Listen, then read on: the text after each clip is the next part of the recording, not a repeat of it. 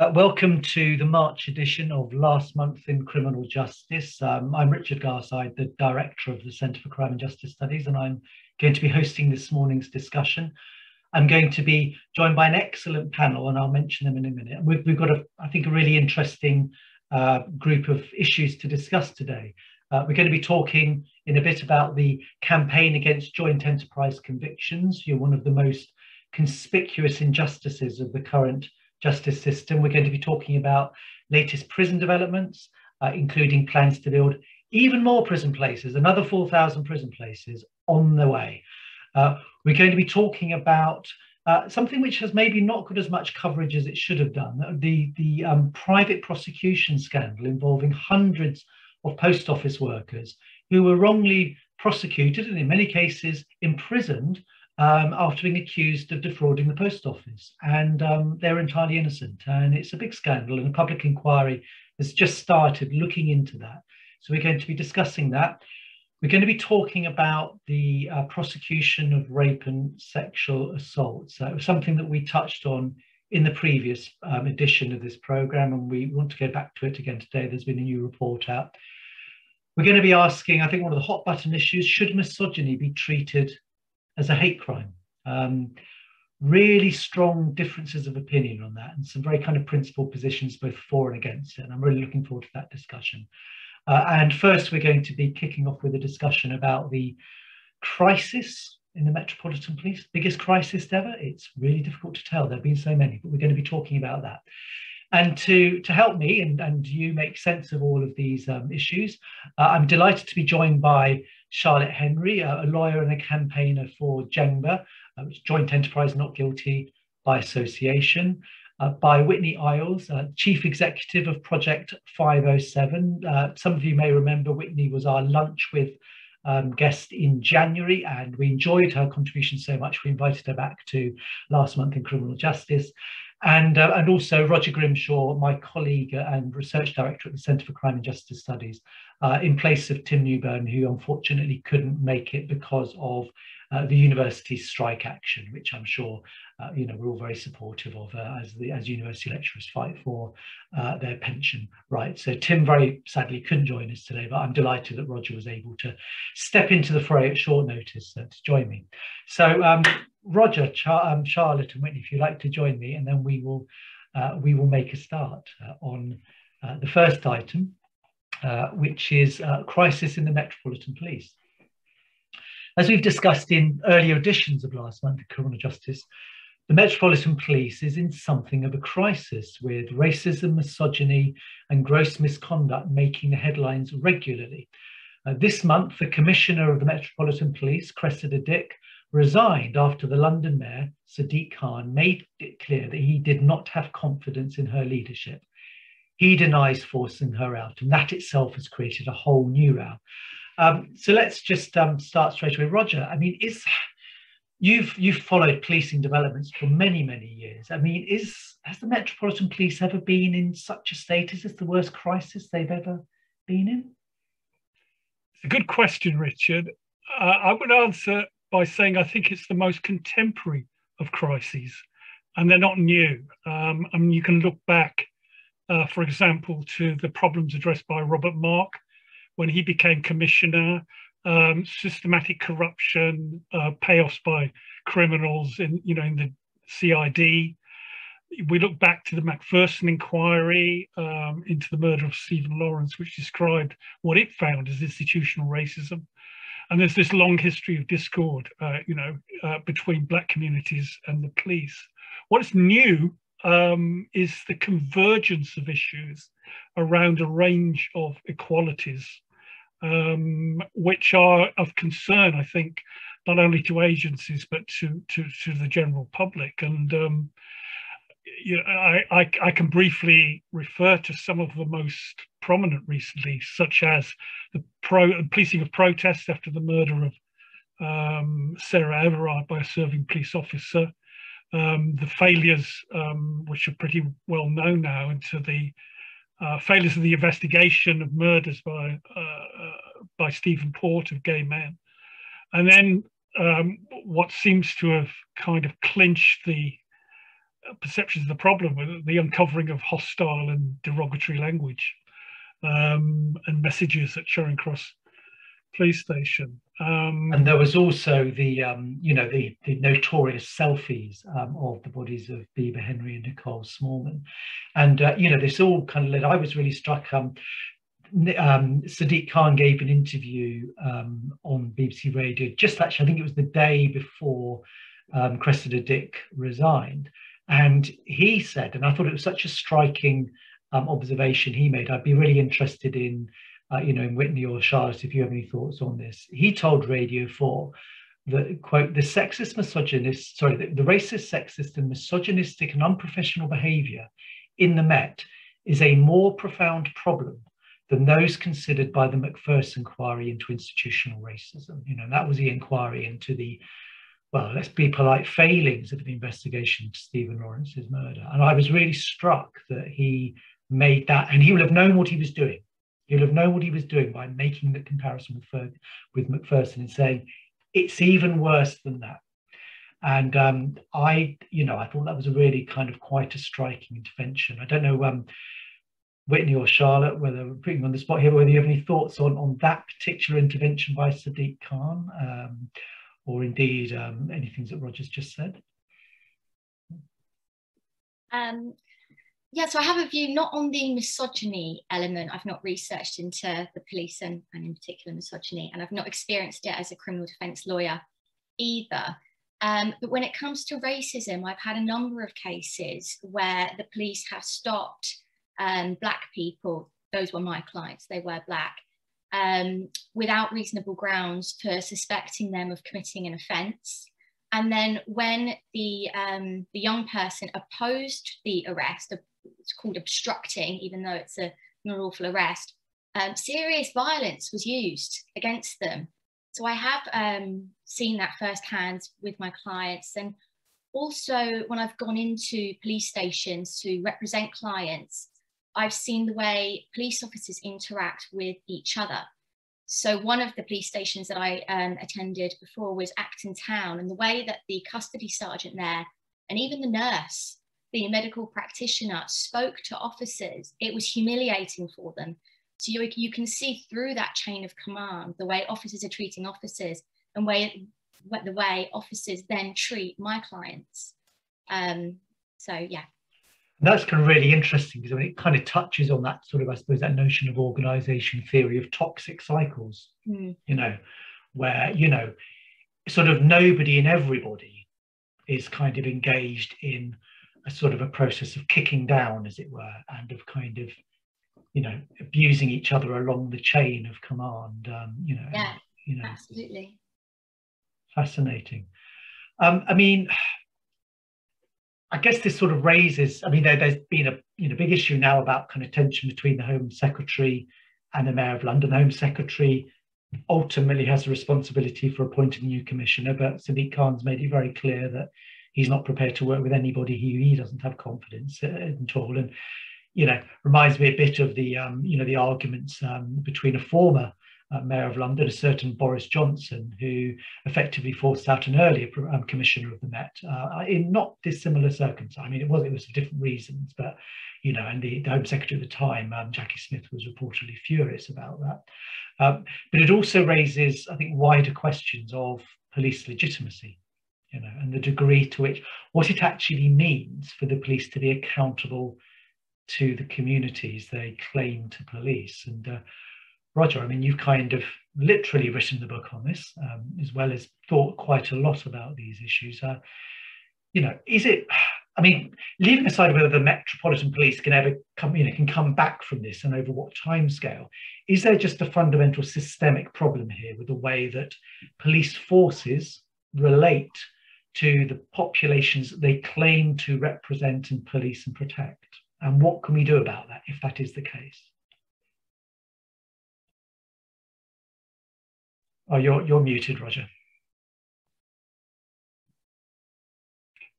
Yeah, sorry about that. Um, I think the issue of legitimacy uh, relates to what Charlotte was saying about the, the type of conduct that, that is generated within policing.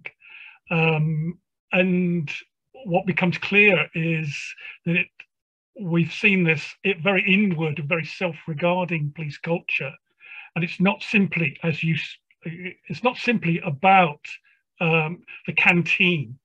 Um, it actually is infused throughout the police structure. Um, because all officers learn practically on the job. And I think also we ought to be aware of the huge array of legal powers given to constables, um, which is like giving your your junior assistants your your most complicated tools. And I think that the, the most important thing to say about this is that unless the job requires them to listen and respect communities, they won't they won't um, develop what we're looking for um, because they get used to simply exercising power. And some would argue, for example, the death of neighborhood policing has designed out that input because, because police officers are not obliged to go out and talk to, to people. And unless they learn the consequences of, of their own actions, um, they they won't adapt to communities. And I think often that's I think that's it's not about the case, you know, it's not about having loads of consultants who come in and say, oh yeah, this is this is a much more friendly way of policing. It, it has to be um, embedded in the design of the job and in the forms of supervision. I mean, wasn't the uh, I mean, wasn't the whole point of? Oh, I'm sorry, Whitney. You were going to say something. I, I just wanted to add because I'm um, kind of listening to what Roger's saying. It's the relational aspect of the, the police is missing.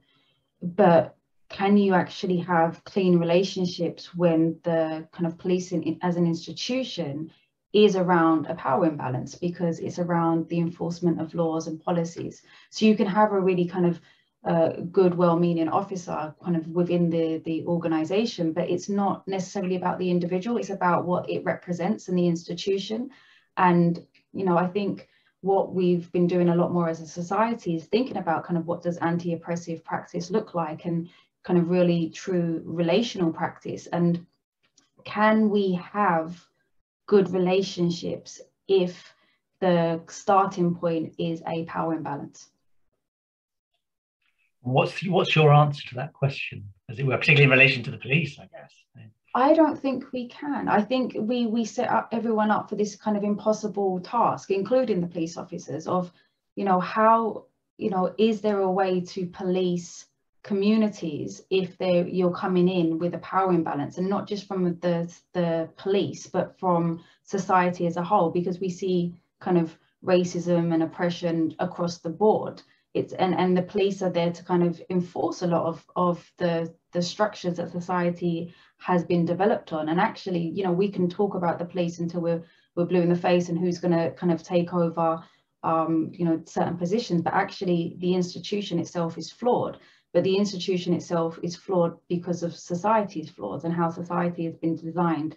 And actually the fact that society is completely unequal and oppressive and there needs to be a lot of kind of systemic change at these kind of MP levels and, and parliament and, and policy and there's so many things that need to change. I think we can also get quite distracted um, debating and, and conversing about what the police need to do.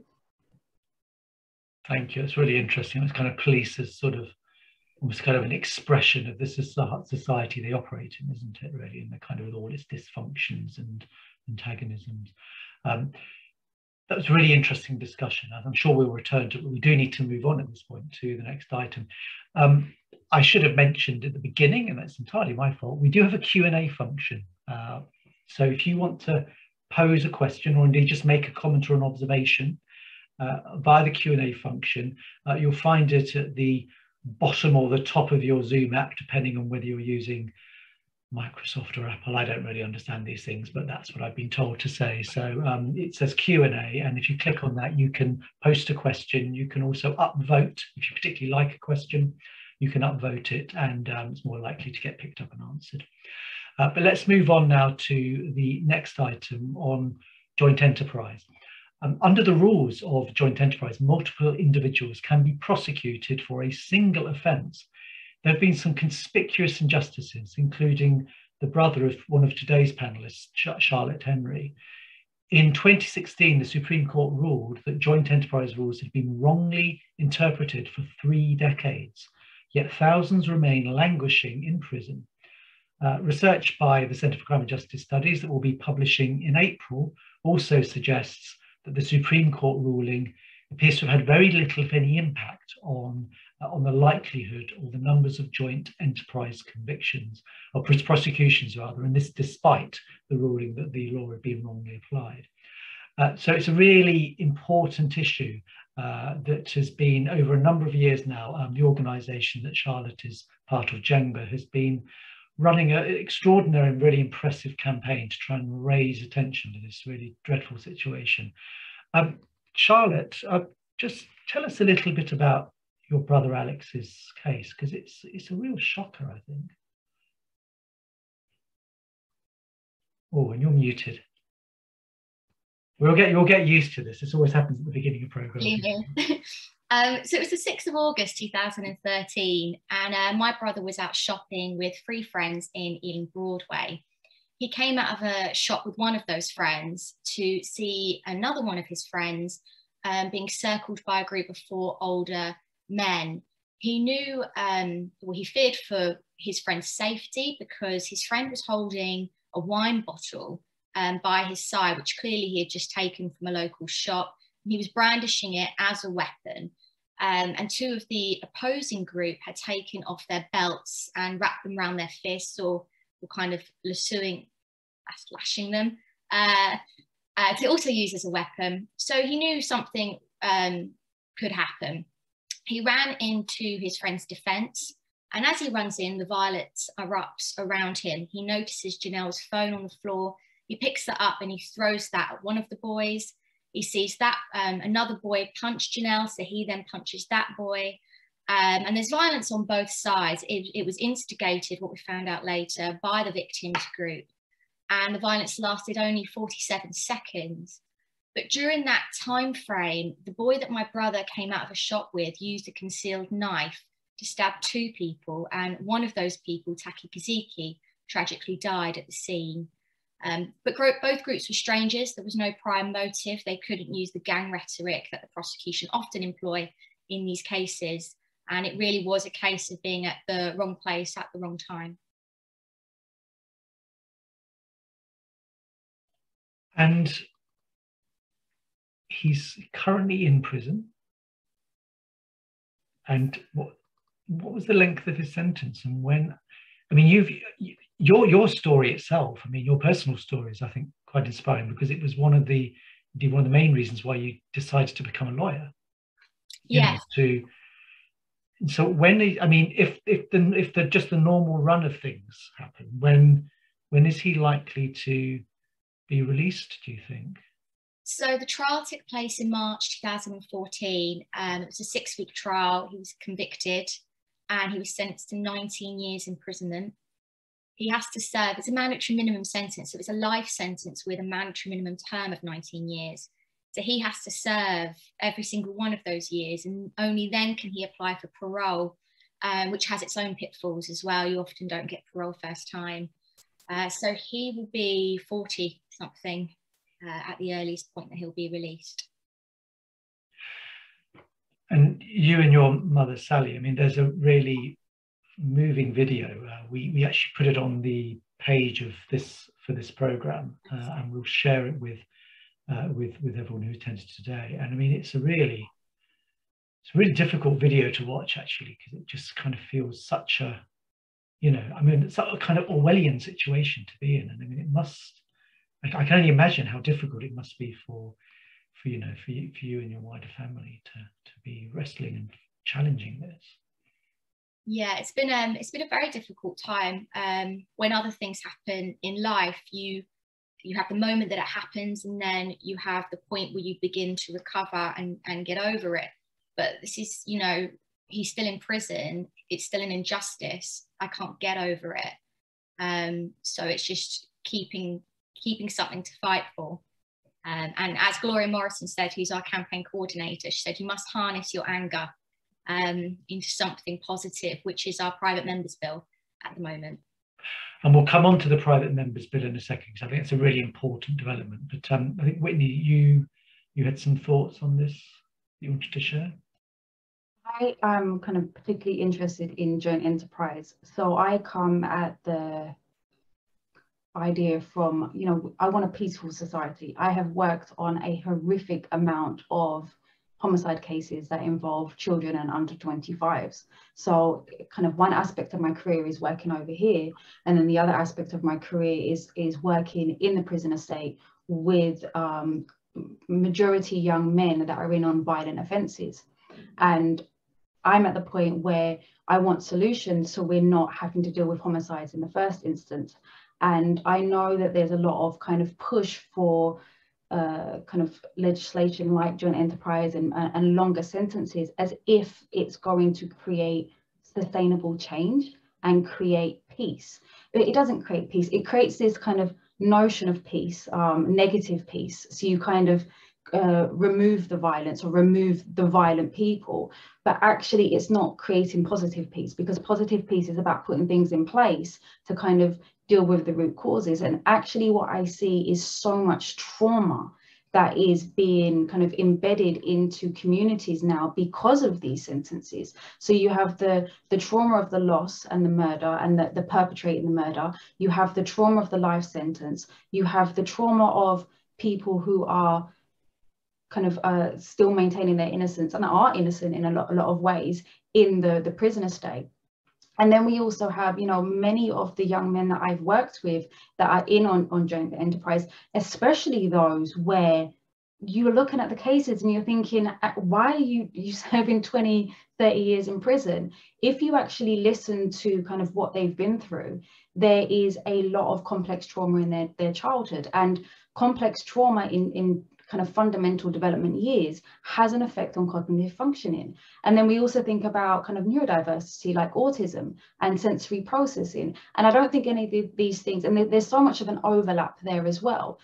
I don't think anyone's truly taken into consideration kind of what's going on for these young men and actually fight, flight or freeze and some of the things kind of where they're at in their development. And these long sentences I, I don't believe are actually doing anything to better those people that are in the prison estate because after five years in prison there's really very little that you can do to keep kind of kind of uh, developing yourself. You've done the majority of your your programs you know uh, that you've done the majority of education. There's there's very little you can do. So actually there's a lot of argument to say putting especially the under 25s in for such long sentences is not benefiting anyone and is not making them kind of uh, kind of civilians that can come out and, be uh, kind of part of society, it actually fragments it a lot more. And I think we need to really change our lens to think about how do we create more peaceful societies where these violence incidents aren't happening in the first instance. And that's kind of my focus when I think about these things. Thank you, Whitney. And um, really, really important, sort of an interesting, challenging observations. And uh, uh, if you're interested more in, um, in, in that whole kind of dimension, then very much recommend the lunch with Whitney that we did back in January. You can access it via our website, and Whitney talks in a lot more detail about some of these issues and about some of the challenges of, you know, what it means to do meaningful work uh, for, you know, transformative change rather than just kind of as we're turning the wheel and keeping things moving along. Um, we did want to, though, come back um, to this matter of the private members bill um, that I think, Charlotte, you, I mean, you, you, basically wrote the bill as well. So, I, I mean, a kind of impressive accomplishment in itself. But just tell us briefly about the bill and what it's, you know, trying to do and what the problem it's trying to address. So, the time at the time that my brother was convicted, there existed um, two ways in which he could be convicted for someone else's crime. And in um, Jengba, the campaign group, we campaigned for six years. And in the case of RV Jogee, one of those ways was abolished. And so now there's only one way in which you can be convicted for another's crime. And the difference between the two types of joint enterprise was stark. The law that convicted my brother, he was um, he could have been convicted of murder on the basis that he foresaw the possibility that someone else might commit murder or cause um, the person serious bodily harm. Whereas now you have to intentionally participate in the murder by encouragement or assistance and know that the murder will take place in order to be convicted. Um, so it's a much kind of higher threshold currently. The law that convicted my brother also convicted like over a thousand people. JENGBA supports over a thousand, um, although the statistics are unclear. Um, but I, I, would definitely say well over a thousand people were convicted under the type of joint enterprise that was abolished. Um, but those people don't um, get an appeal, so they don't get fair retrials based on the change in the law. The reason is that if someone is appealing um, out of time, which is beyond 28 days following the date of conviction, and um, they're appealing based on a change in the law, they have to pass this, this test called the substantial injustice test. That was interpreted for us um, to mean that we have to prove we are innocent in order to have an appeal in the first instance. Um, so what the Private Members Bill does is it abolishes that test uh, by amending the Criminal Appeal Act. So that's what we're trying to pass now in order to get everyone that was convicted under um, the joint enterprise that was abolished fair appeals.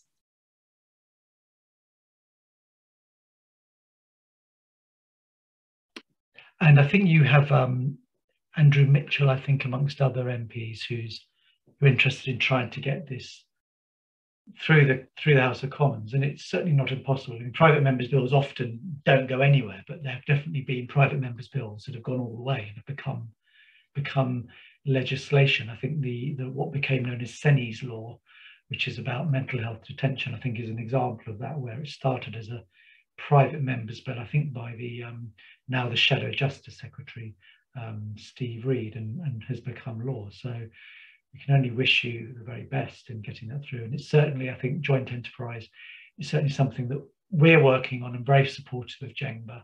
Um, our next lunch with event on the 16th of March, we're going to be talking with uh, with Gloria Morrison and um, Jan Cunliffe, um, two of the founders of, of JENGBA, uh, and my colleague Helen Mills will be in discussion with them. So if you haven't registered for that and you want to know more about the work around um, challenging joint enterprise, I'd strongly recommend and encourage you to, uh, you know, to, to register for that.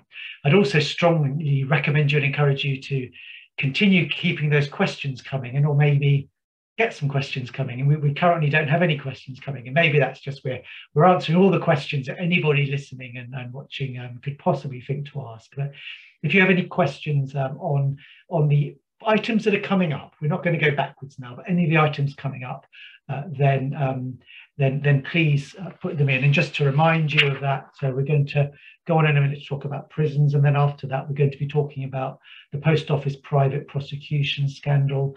Uh, then we're going to be talking about the prosecution of rape. And then we're going to finish um, with the question of should misogyny be treated as a hate crime? There must be some people here who have some views on that. So do share those thoughts and we'll, uh, we'll pick them up in the, uh, in the discussion as we get to it. Let's move on to the next item now, just um, some recent developments in the prisons world and uh, a key one in particular. In February, uh, the Justice Secretary Dominic Raab announced plans to create 4,000 new prison places in England and Wales, and this is on top of the 20,000 places previously announced. Uh, now, if, if, these all go ahead, that means we're going to have a prison population of over 100, or at least prison capacity and I think where capacity goes, um, the population seems to follow, of 100,000 over the coming years. Uh, to place that in context, in 1974, the year that Mr. Raab was born, the prison population stood at 38,000. So enormous, massive increase in numbers uh, over a number of years. Uh, now, Whitney Iles, one of our panelists today, um, has recently written a piece for our website and she argues, and I quote, our prisons are there to uphold the status quo and enforce many of the oppressive and racist practices we are yet to dismantle and redesign. And she also criticizes, uh, she and her co-authors, I hasten to add, not just Whitney, um, she and her co-authors also criticize uh, what they describe as performance activism, which amounts to very little change on the ground, though perhaps leaves many feeling good about their efforts. Um, Whitney, I mean, are we ever going to get out of this kind of monotonous and really damaging cycle of just endless prison growth, do you think? And if so, how on earth are we going to do it? I think we will get out of it when we have better informed leadership that are more politically brave and willing to do something to create sustainable change. Um, I'm reading some of the questions that are, are, happening in the chat as well. And Wendy, yes, I do think it's a, a, build it and they will come. And I think it will be very easy to go to 100,000 spaces to then you know 120,000 spaces and it will just continue to grow because this is this is an economic interest this gives jobs this provides you know people with salaries and pensions as well. So there's an economic interest in in these things as well. And one of the things that I've always been interested in is you know follow the money. Because when you follow the money you tend to see kind of why political changes are being made in the first instance. And you know, when we kind of go back to how we started this conversation and speaking about the police and institutional racism, um, you know, what we will end up seeing is a bigger disproportionality of black and brown and um, kind of those who are minoritized due to their race, race and faith and, and gender We'll, we'll, just see kind of larger populations and, and that kind of larger increase in disproportionality. And I think you know, if we want to create a fairer society, we need to really be thinking about these things in a lot more depth because I am biased. So I work with the under 25s and I firmly believe we should not be sending children or in fact under 25s into prison. And I also work with violent offenders. So I understand the kind of how complex these issues are. But from being within the prison estate, I'm also seeing that they're not working. You know, it's not working. And actually what the prisons are doing are, are, upholding a particular status quo. They're upholding the hierarchy. They're upholding the power imbalance. They're upholding the racism. They're upholding kind of so many things that are wrong within society. And actually you know there's real power in having these kind of intellectual conversations and finding alternatives and, and different solutions. Because the end of the day we're just going to keep building and keep building and keep building. But what are we actually doing? Are we creating more peaceful societies? And I think the kind of the main objective here is to create societies where people feel safe and people are safe and people can thrive and be happy. And if that's the ultimate goal, then prisons is not the way to do that. And there has to be some more kind of thought process and input into alternatives for that. I think we've seen um, things go right in the, the children's estate with the lowering of the numbers, but we've also kind of done that really well with white children and we've also done that really well with non non-violent children. And i'm really interested in thinking about violence and thinking about how do we truly dismantle is, uh, systemic harm and violence and racism. And when we see the kind of the building of the new prisons, but then we see the, the white sentencing paper, which is also looking at putting children in prison for longer, it, it makes no sense to me if we're thinking about creating more peaceful communities, because all we're really doing is pushing for more children to be on these kind of longer sentences. And I've worked with children who've gone in at 11, 12, 13 and are not coming out until their 20s or going in at 17, 18, 19 and not coming out until their 30s and the 40s. And I think it is absolutely horrific that we do that to children in, in this day and age. And there's also, I mean, on a related matter, there was a, a piece of a paper that came out from the Prisons Inspectorate for England and Wales uh, just in February, where they pointed out that, you know, acutely mentally distressed women were still being sent to prison as a place of safety um, was, was the way that it was phrased. And, uh, you know, the, the note says nobody would agree that prisons are the right place to keep women who are acutely unwell.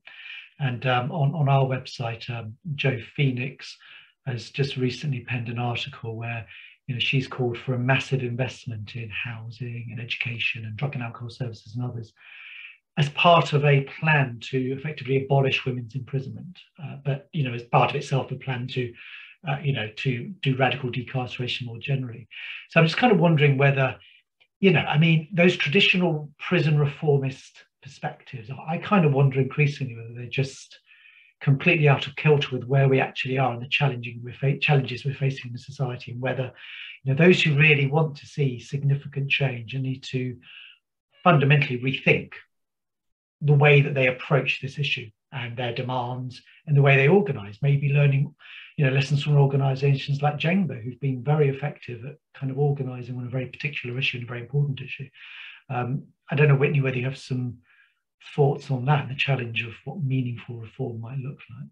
I am not sure we can do meaningful reform. And I think that that's a really um, hard thing to say and to, to get our heads around.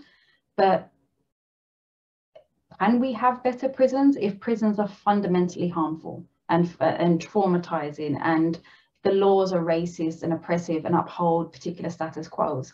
I think a lot around kind of, well, where do I want to put my energy and where, where is the change that I want to see? And actually, if I only have so much energy and, and so much life to live, then to trying to reform and make better a harmful kind of institution isn't necessarily where I want to be spending my time. I want to be in the community. I want to be dealing with the root causes. I want to be looking at the systemic changes that kind of uh, decrease the generation of violence rather than looking at things that are increasing harm and violence. So I think I think we have to have some really difficult conversations around reform and what we we mean by that. And is is this like a, a spectrum that we can move up and down, or is reform sitting on the fence and not making a decision? And is it you're either pro prison or you're an abolitionist? Uh, these are a lot of the kind of conversations and the debates that I have within my team and that I'm kind of working through myself right now. Thank you. There's um anonymous attendee um, making the point about whether you know there needs to be more of a discussion about uh, cost effectiveness and about whether we need to have a debate about that and about what the prisons are costing us.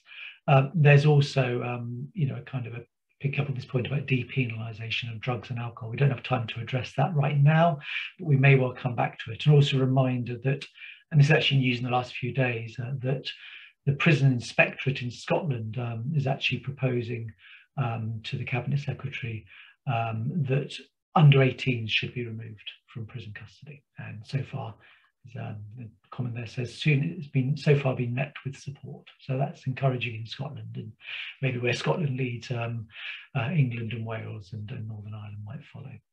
Uh, let's move on to the next item, which is um, the private prosecution scandal involving the post office that, um, you know, many may not really have heard much about, uh, but there's a public inquiry that's just been launched into the pro wrongful private prosecution of over 700 post office sub um, post office sub postmasters. That's a bit of a mouthful, isn't it? Uh, under English law, any individual or organisation has a legal right to pursue private prosecutions, and many sub postmasters were wrongly accused of stealing funds as a result of a catastrophic IT failure that was just claiming that money was not there, that was there, and, and so on and so forth. Uh, a number of them ended up losing their careers, um, going to prison.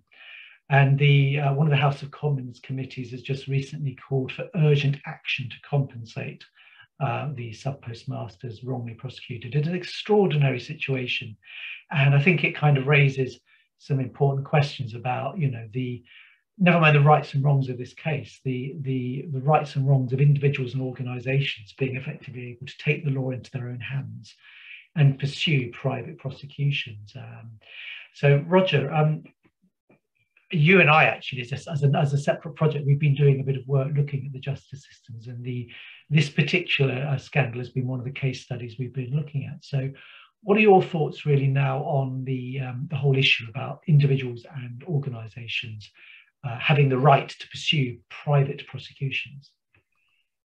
Absolutely, it's a it's a fascinating area, and um, it's been neglected. I mean, some will find it really surprising that an agency like like Royal Mail can prosecute independently in its own interests. For example, in Scotland and some other jurisdictions, the public prosecutors have a monopoly of criminal prosecutions. Now, in England and Wales, um, there, there is some safeguard um, at the moment, um, which might have applied to the to the post uh, post office submasters, because defendants um, can ask um, the Director of Public Prosecutions to review a prosecution, but they may not know of that right. Um, but the fundamental question, which has been, I think, addressed in a Justice Committee report, is why wealthy agencies with these deep pockets should have better chances of carrying out private prosecutions than, say, the Lawrence family, whose private prosecution against men accused of their son's murder was a real turning point in their campaign for justice. So there is there's there's a sort of inequality of means here, which which I think is is which we ought to consider. Um, and there are there are kind of I think there's going to be a um, a fundamental um, set of questions about our prosecution system as a whole um, and the extent to which uh, victims um, of, of crime um, can have their interest in prosecution uh, secured. So, for example, um, what's the role of the Victims Commissioner? Um, should they be doing more to support the right of public prosecution for ordinary people?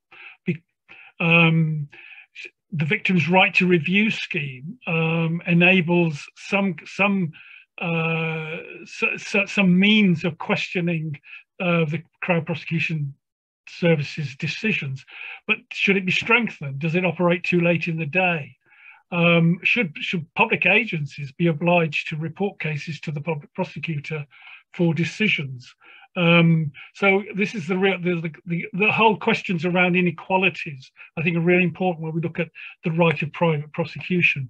And if we're just picking up on at least one of those kind of quite important strands, and you mentioned the Lawrence family, and I guess you know, in a sense, that's the dilemma, isn't it? Because we can all think of cases where we think, well, actually, no, they shouldn't have the right to private prosecution, or you know, it's not fair if some major multinational company is effectively you know, kind of picking on individuals who don't have the means to uh, properly defend themselves.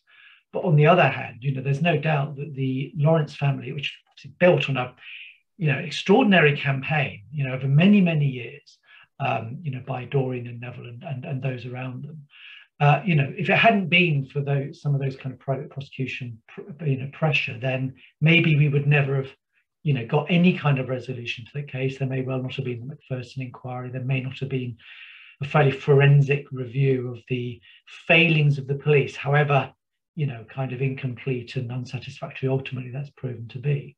So, um, you know, is there a risk if we went down the line of saying, well, basically, the pro prosecution is a monopoly of the state, uh, that a kind of, as it were, you know, the state itself can isn't always interested in prosecuting cases that really do need to be pursued?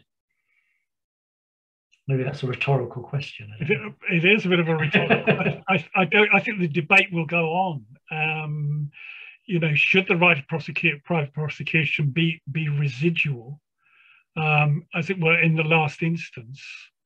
Um, but I think what's just as important is to consider the role of public prosecutors because, again, um, in a to defend public prosecutors, um, they they also can have an important influence on um, on on the police. Uh, they can operate as a very important filter uh, in terms of the public interest, um, and therefore the balance of you know um, of, of interest in, in, in, in public prosecution may be defended um, by, by public prosecutors, um, particularly kind of in, in, influencing the police who under our system um, still have an enormous amount of, of discretion in, in terms of how they follow, follow the evidence. You're watching Last Month in Criminal Justice with me, Richard Garside, and I'm joined today by Roger Grimshaw, Whitney Iles, and Charlotte Henry. Uh, in a minute or in about 10 minutes or so, we're going to be coming on to the question of whether misogyny should be a hate crime. There's a comment here in the chat. Um, does the very notion of hate crime divert attention away from what people do by concentrating on what they think? Interesting question, and maybe we can pick that up um, shortly. Uh, before we do so, let's um, just move on to another issue about prosecution. You know, if, if private prosecutions can sometimes be open to, um, well, I don't really want to call it abuse or just kind of maybe some inappropriate actions against individuals. Um, the state isn't always very good at prosecuting either, and uh, you know the prosecution of sexual assaults and rape is a is a good is a good example of that. We discussed um, this issue in the last edition of last month in criminal justice, um, particularly looking at the very low rates of prosecution of sexual offences. Uh, and since then, two criminal justice inspectorates um, for the police and for the Crown Prosecution Service have published a report. And in that, they state that the criminal justice system's failing victims of rape and widespread reform is needed to build trust and secure justice. And the report points out that it took an average of nearly 706 days between reporting an offence to the police and the start of a criminal trial. Uh, and they also noted that rape survivors face repeated delays and cancellations. I don't think anybody um, would disagree that rape prosecutions have been falling for some years, but um, they've never been particularly high. And I suppose one of the questions that comes from that is, you know, is, the, is it a problem of prosecution? Is that where the problem lies? Is it a wider problem of policing more generally, or is it a wider problem still of, of a society of, of male entitlement and, um, and sexual violence? Um, big questions. Uh, Whitney, um, do you want to have a go at kind of trying to offer um, a rather more coherent answer to my uh, to the way that I framed the question? It is. It's, it's complex, isn't it? And I, I do think that we are constantly fighting against history. And when I say history, I'm thinking about, you know, how society has been developed and how women and women's needs have always been at the background. I think about mental health, I think about physical health, I think about kind of criminal injustice. You know, it, we're not in a society where women are kind of treated equally. And I think this power imbalance, the choices that men are making and, and the, the behaviors that we're seeing is kind of integral into in our, our society. It's coming from somewhere. And, and we can make the argument of, you know, and I, I'm a trauma specialist, right? So I, I think about and, and, and work with childhood trauma kind of every single day. And there is this kind of notion of, well, you know, we need to support men in their healing processes because there's a lot of men that have been through a lot of um, kind of trauma in their developmental years.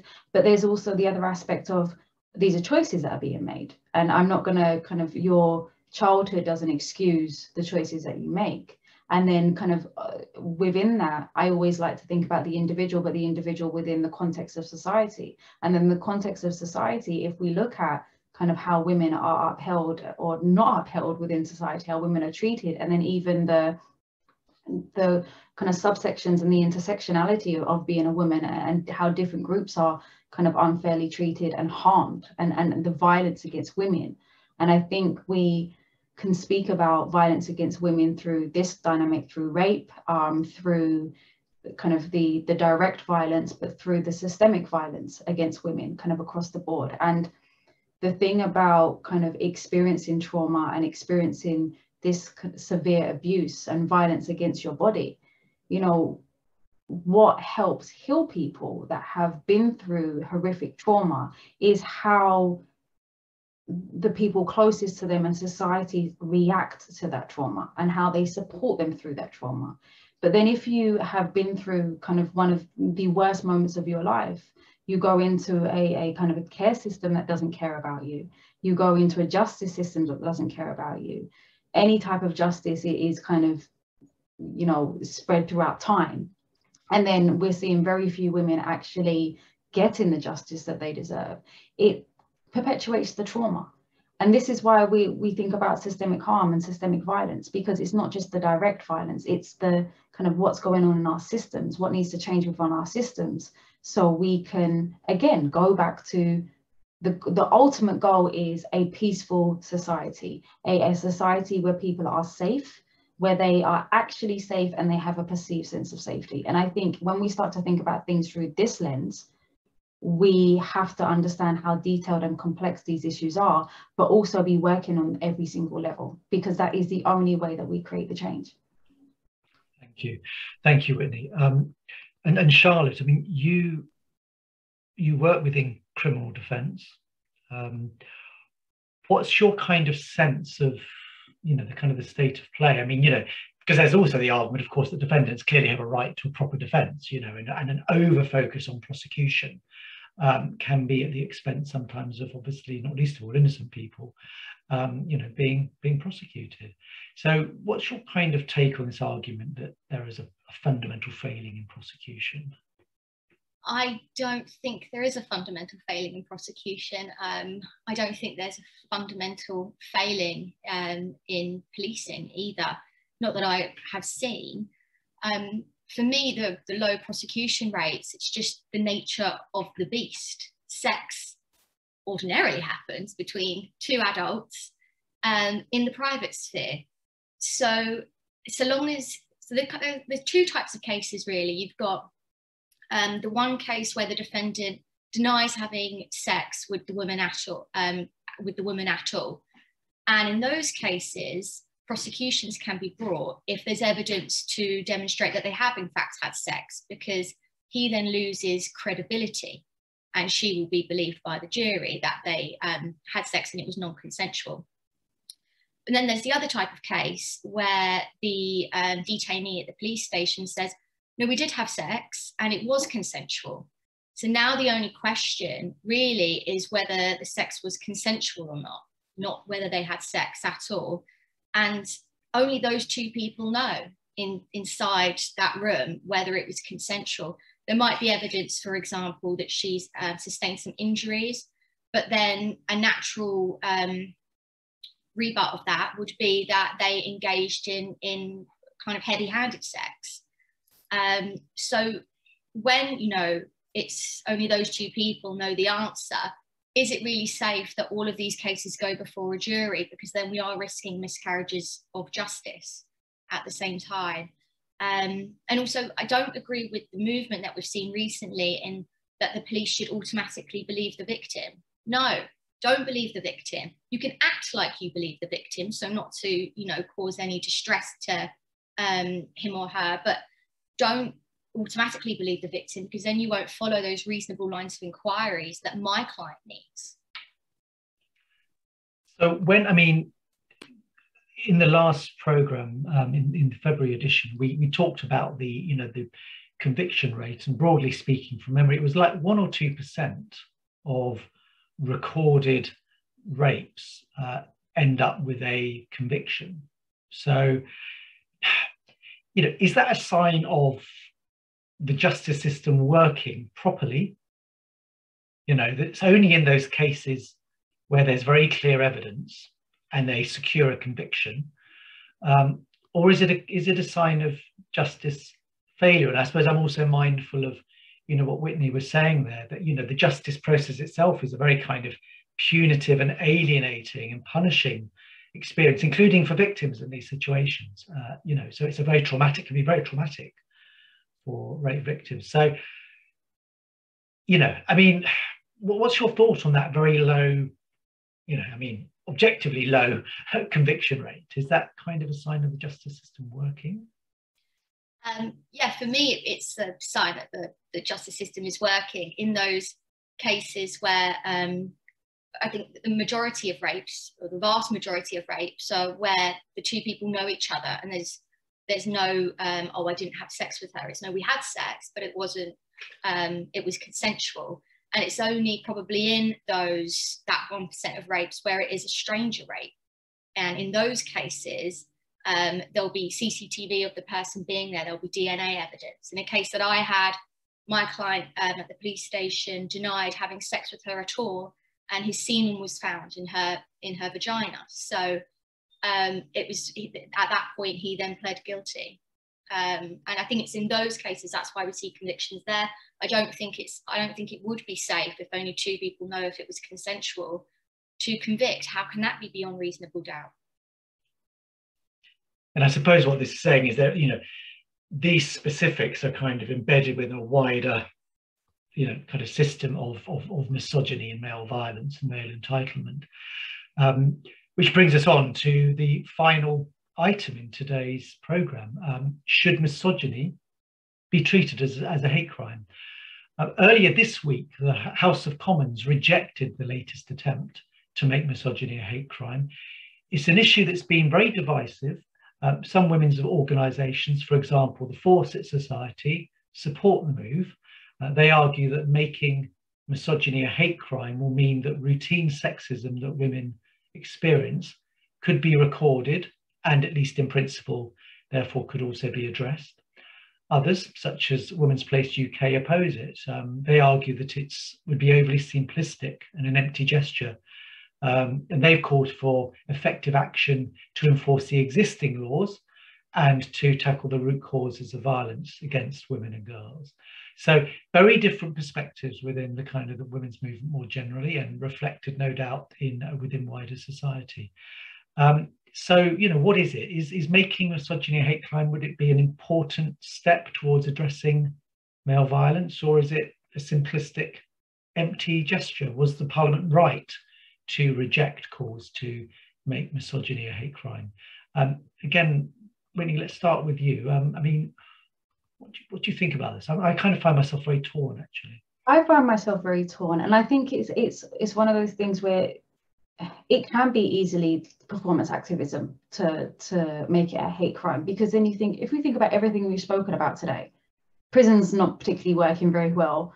Um, police kind of already have too much on their hands, and actually we've already kind of seen a lot of the the issues within the police. So are, are, they the ones that are supposed to uphold it? Is the criminal justice system supposed to uphold it? If we know that with rape, we're only seeing a one point kind of a one, 2% conviction charge, like what's going to make this any different? This is just more admin work for a lot of people if you want to be kind of real crude about it. And I think it kind of goes back to you know, what are the systemic failings in the beginning? What generates kind of violence against women? What are the attitudes? What are the behaviors? And how do we as a society start to deal with these root causes? Because, you know, there are a lot of issues here and the, the, the violence is direct violence, whether that's physical violence, kind of emotional, psychological violence, with like as in hate crimes, but then there's the systemic violence against women. And I think all of these intertwine with each other and we always have to think about you know why are we doing this? What's the what's the mean? Do we then want more men in prison? Is this how we're going to fill up those 4000 kind of extra beds within the criminal justice system? A lot of it doesn't seem to make sense. A lot of it seems to be people thinking about things in kind of a fragmented way and not thinking about the whole and not thinking about kind of what is the, the kind of the truer needs of society in order to keep people safe and keep people kind of protected and having peace. And, you know, violence is expressed in so many different ways within our society, whether that's the violence against self, violence against other, whether that's the violence we see in relation to homicides, whether that's the violence we see in relation to, to rape. I think we need to really fundamentally understand that us as a society, and I mean the UK, I mean, you know, England, we have a problem with violence and we have a problem with violence on every single level from direct violence to the political violence that we see across the globe.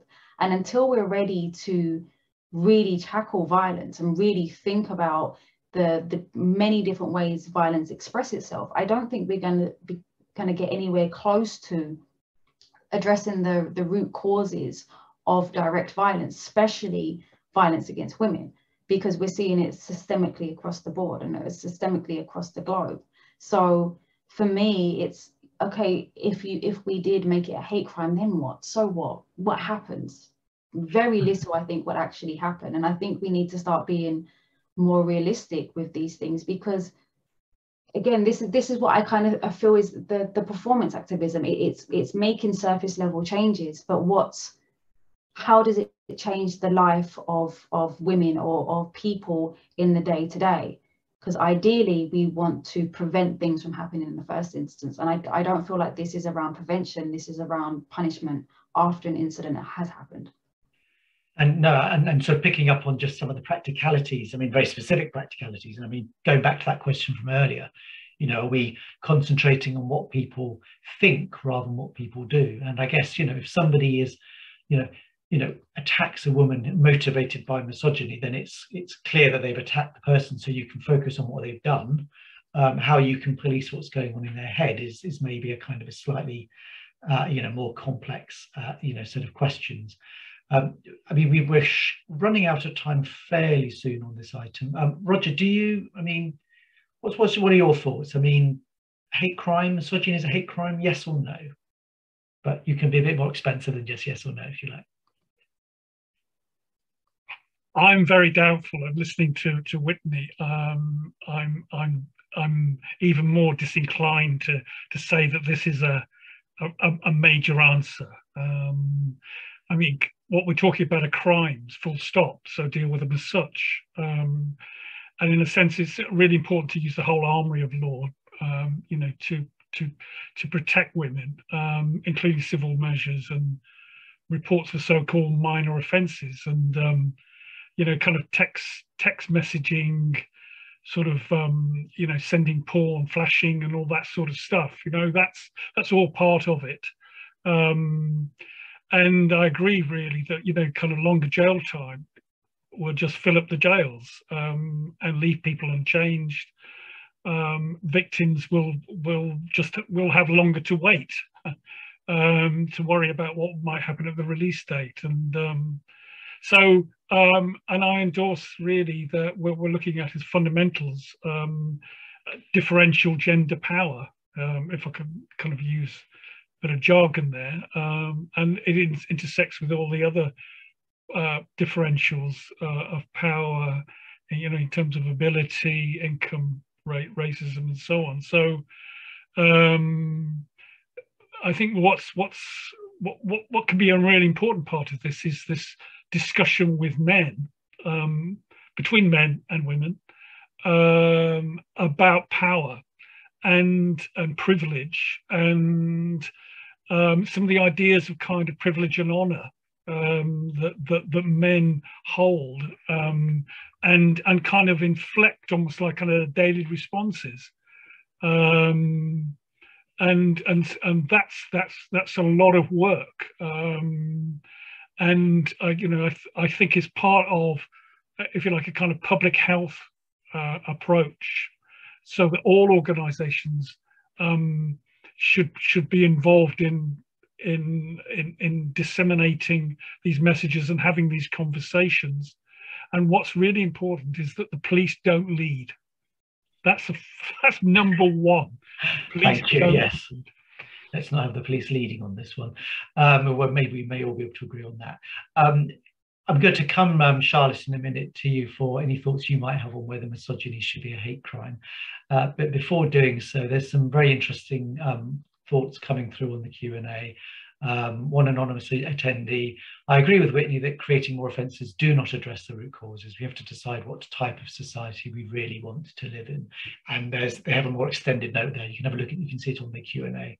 Um, someone else, another anonymous attendee, um, I think the current climate and narrative across societies in some instances encouraging skewed or distorted interpretations of sexual encounters and consent, uh, you know, kind of relating, I guess, to the previous item, but relevant for this one as well. And, um, there's also this one, um, another anonymous attendee, interested in panel's views on the definition of misogyny that was proposed in the Newlove Amendment. So this was a particular amendment that went through went through uh, through the um, House of Parliament. Does a definition based on gender rather than sex get to the root of male violence against women? And this has become another kind of you know significant area of contention that if you define it as gender-based violence then uh, that includes uh, you know those males who identify as women and then you actually you know the argument would go you're losing the specificity of male violence based on sex. Uh, you know so kind of a very a sort of you know kind of complex and, and fraught area of debate in its own right. Um, uh, before we um, before we conclude this item though um, charlotte i mean i think there's probably two no's from um, from whitney and from roger in terms of misogyny and hate crime I'm sort of broadly a no, but I kind of feel quite torn in some ways about the issue because I can see the arguments both ways. Um, not wanting to put you on the spot, but putting you on the spot, do you want to argue in favour of it being a hate crime? Are you, are you, would you agree um, with Roger? Um, my, my answer would be no as well. Uh, but I suppose one of the things we, we could think is, well, when I've had clients before and they've committed racially aggravated offences, it's down on their record as a racially aggravated offence. It's, it's certainly more relevant if they wanted to work um, in regulated for a regulated body. Um, a bit like a dishonesty offence, you know, it's reprehensible behaviour if it was if it's classed as a hate crime. Um, so yeah, it, it might have have a deterrent effect. Probably not. Uh, maybe it would cause society to think about it more if it was to become law. It would hit the press or misogyny is, makes it extra serious when you commit the underlying crime. we had the Me Too movement. That's generated a lot of um, public awareness to misogyny. So, no, um, I'm in the no camp. well, there you go. We're finishing on a kind of a wild outbreak of agreement. I mean, you, you I think, Charlotte, you do pick up a, another important point, which is also about reporting and recording and what appears on people's records. And this has been a, a kind of a very sort of controversial area around some hate crimes where it's you know it's kind of up to dispute. And then what can happen is individuals effectively have a hate incident uh, recorded against their name because that's how it's perceived by somebody uh, which then follows them. And they're thinking no i wasn't being hateful but now it's kind of on some record somewhere and it could affect my future employment. So it goes back to that question of whether we're kind of as it were trying to police what people do or police in the loose sense of the term um, you know respond um, to what people do or respond to what people think or are perceived to think. And uh, you know whenever the law gets into questions of perception um, or what seems to be it, can often be a very fraught and challenging area i think it would be fair to say. That there are people including charlotte who are much better qualified to um, to offer a view on that than i am. Um, that brings uh, today's proceedings uh, to a close. Uh, we uh, sometimes these uh, programs run through to about an hour and a half. We've been uh, kind of trying to squeeze them a bit because we're conscious that an investment of anybody's time, an hour and a half, is quite a big investment. So we are kind of trying to squeeze these events more towards being around an hour as long uh, to make them a bit more digestible and hopefully make them kind of feel uh, useful for those who attend. So um, our next last month in criminal justice will be on the Wednesday, the 6th of April. Uh, they're the first Wednesday of each month and uh, we'll be looking at developments during the course of March. If you enjoyed the program, then then do register for the April um, for the April event, and indeed do tell others about it uh, as well. And um, our next um, our next program that we'll be doing is on the 16th of March, where um, my colleague Helen Mills will be having lunch uh, with um, Gloria Morrison and Jan Cunliffe of JENGBA uh, to discuss the long-standing and ongoing campaign against joint enterprise conviction. So if what Charlotte said today and what Whitney and others have said today about joint enterprise, if that's whetted your appetite, then please do register for that event. And of course, all of these programs are will be on our YouTube channel in due course. So just leaves me to, to thank our three panelists today for giving us lots to chew over.